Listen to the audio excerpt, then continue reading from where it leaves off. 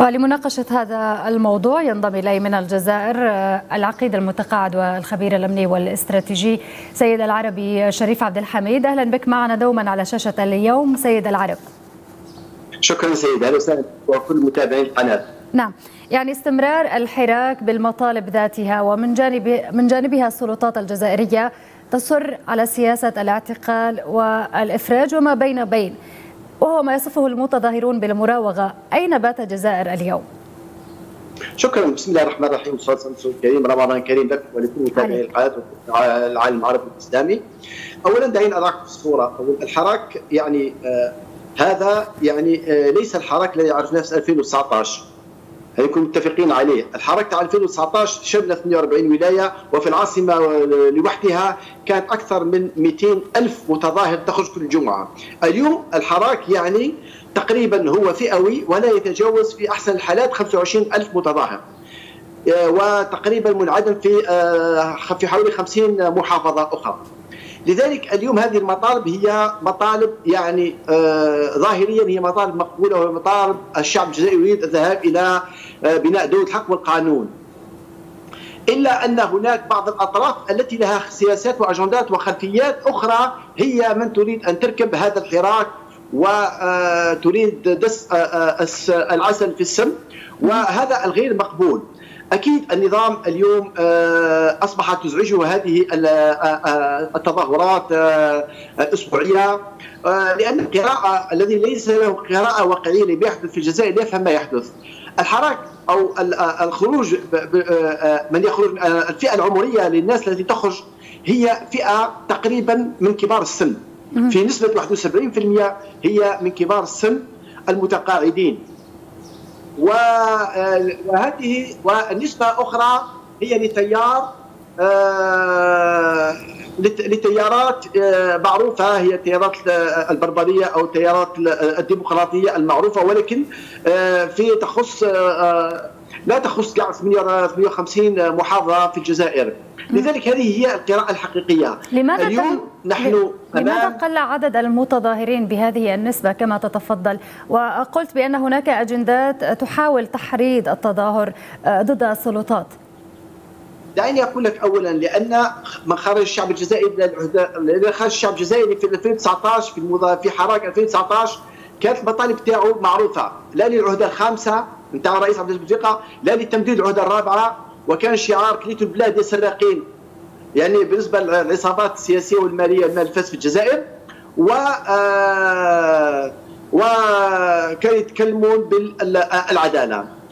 أظن أن الحراك يعني بعد ما كان المرحوم رحمة الله فريق أحمد قايد صالح يعني ألغى العهدة الخامسة وتمديد العهدة الرابعة وألقى بالعصابات السياسية والمالية في السجون وبدأت المحاكمات علانيه يعني امتص هذا الغضب وتراجع الشارع بنسبة كبيرة جدا جدا عن ما كان عليه. يعني آه هذه من جهة. من جهة أخرى هناك آه هناك يعني نسبة كبيرة من هؤلاء من رضوا بانتخابات 14 ديسمبر. وهذه معقولة لأن لعلمك سيدتي لم تحدث في تاريخ الجزائر أن كانت مشاركة 40% في الانتخابات. يعني في كل حالة في السابق التصوير كانت لا تتجاوز 17% وهذه المرة كانت 40 39.8 تقريبا 40% وبإشراف هيئة مستقلة تشرف على الانتخابات وليست وزارة الداخلية سابقا. لذلك كان هناك رضا فئة كثيرة. ولكن اليوم بعد انتخابات رئيس الجمهورية هناك الكثير من صدم أنه لأن كانت وعود رئيس الجمهورية سيد عبد المجيد تبون بالذهاب إلى بناء دولة الحق والقانون الجزائر الجديدة. وإذا بهم صدموا بأن نفس نفس يعني الاشخاص للنظام السابق هم اليوم المتواجدين هم من يديرون دفة الحكم في الجزائر. هذا ربما ما أنقص من الوضع والتشكيلة الموجودة في الساحة. طيب.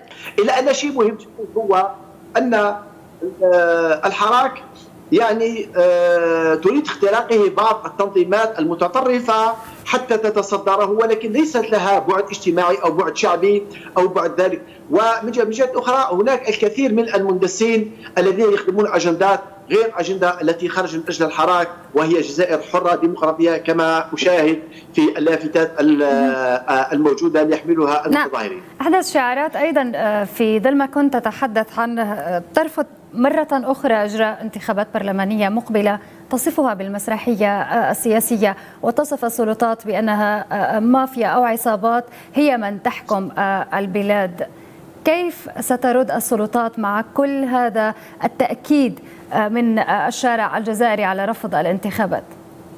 هو هو الشعب الجزائري تقريبا في في أغلبه رفض الانتخابات لماذا؟ لأن الانتخابات خرجت عن عن توجهها الحقيقي وهي أن تكون للأحزاب وذات برامج، هذه المرة يعني ذهبوا إلى الجمعيات والشخصيات والقوائم الحرة اللي تجاوزت يعني نسبة كبيرة جدا. وأنا كنت تكلمت يعني أنا شخصيا كنت في عده مداخلات قلت عبارة عن فتح مناصب تشغيل البرلمان 408 برلماني يعني يكونوا بمرتبات محترمة وبامتيازات لا غير ولكن العمل البرلماني لا لا يكون ولا يوجد لا توجد أحزاب ولا توجد برامج ولا توجد مشاريع.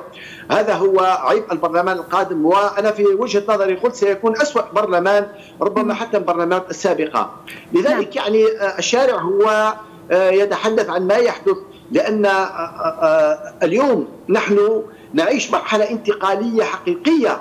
نحن أنا وجهة النظر تاعي نحن في نهاية هذا النظام القديم التسيير الإداري البيروقراطي الذي انتهى دوره في الجزائر ويعني شئنا لكنها تفتقد هذه المرحلة تفتقد إلى هيكلية تنظيمية داخل الشارع الجزائري.